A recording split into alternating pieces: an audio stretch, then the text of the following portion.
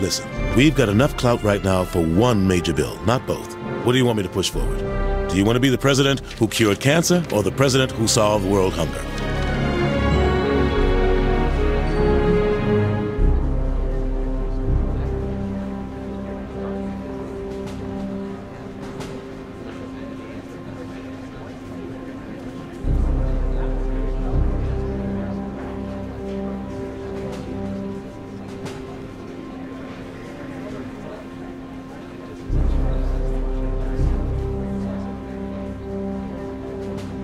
Cancer had a good run, but it's time to put it down. Good choice.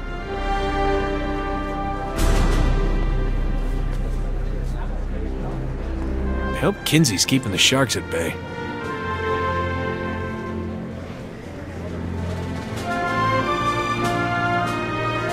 Now, you listen here. If you think you can cram your agenda past Congress, you are in for a rude awakening. You hear me? Now, let me tell you a little something about the greatest word in politics filibuster.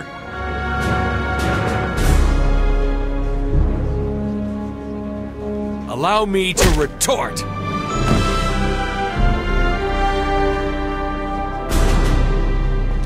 Hey, Doris, we still down for tennis and a blowjob?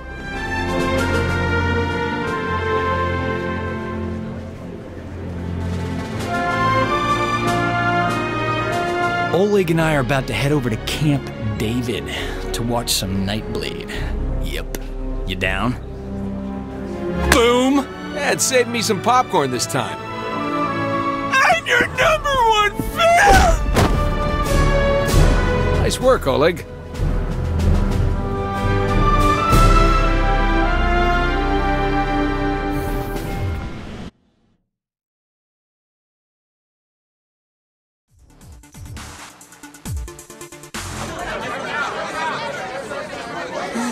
The president's words were taken out of context. Kinzie, what's the right context for, and I quote, I'm the patron saint of America. We should probably look into changing the Pledge of Allegiance to one nation under me.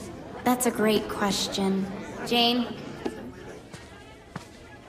I think we have a problem. Oh, not you two. How many times do I have Asha to... and Miller are waiting for you in the Oval Office. If MI6 needed something, they would send it up the chain, not fly across an ocean. They said nobody back home believes them. Jesus, what's going on? They think we're about to be attacked by aliens. Yeah, I gotta go. This is serious. You know that Kinzie's been saying the same thing. When did you start taking Kinzie seriously? When the people who helped us save the world said we should. All right, I'll swing by after I...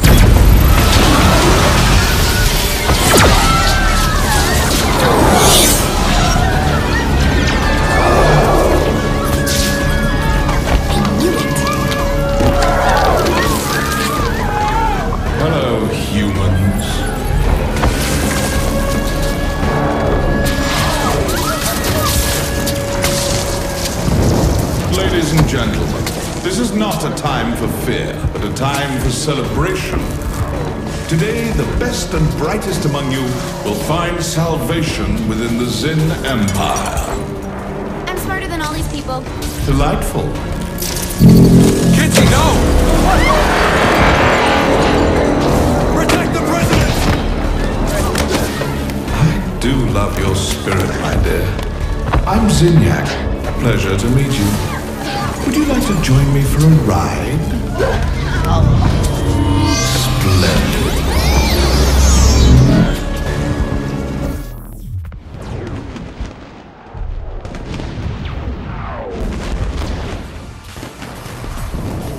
Get off me!